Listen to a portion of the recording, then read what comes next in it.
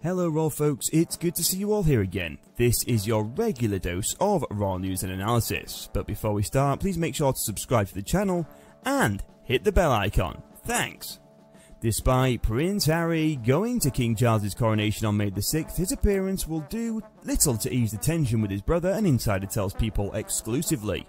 The relationship between brothers Harry and William remains tense as the two are set to reunite at the coronation of the king. Although Buckingham Palace announced last week that the Duke of Sussex will attend his father's crowning ceremony on May the 6th, the rift between him and the rest of the royal family remains evident by Prince Harry not seeing King Charles or Prince William during his surprise visit to London last month. Things are strained, a palace insider tells people exclusively in this week's cover story. There have been no communication between Prince Harry and Prince William in the lead up to their father's coronation, and an insider says Harry's participation in the historic event will do little to ease tensions. I don't think the coronation and a big conversation can be conflated, says an insider. In his memoir Spare, released earlier this year, Prince Harry revealed some of the reasons that drove him and Prince William apart. Harry claimed that 2019 confrontation over his relationship with Meghan Markle turned physically violent.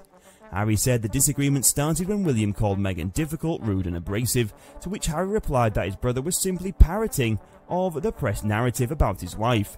He grabbed me by the collar, ripping my necklace and knocked me to the floor. I landed on the dog's bowl which cracked under my back, the pieces cutting into me. I lay there for a moment, dazed, then got to my feet and told him to get out, Prince Harry wrote. In an interview with ITV's Tom Bradby surrounding the book's release in January, Prince Harry said that he hoped to talk through the issues with his family before the coronation.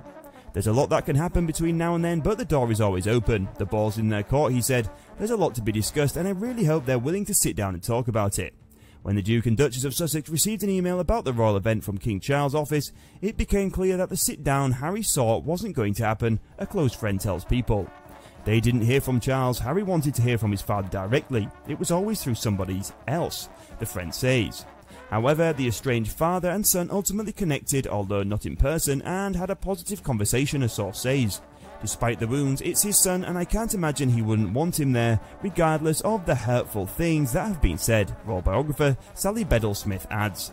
So what do you guys think about the news? Let us know in the comments and we'll see you next time for more Raw news and analysis.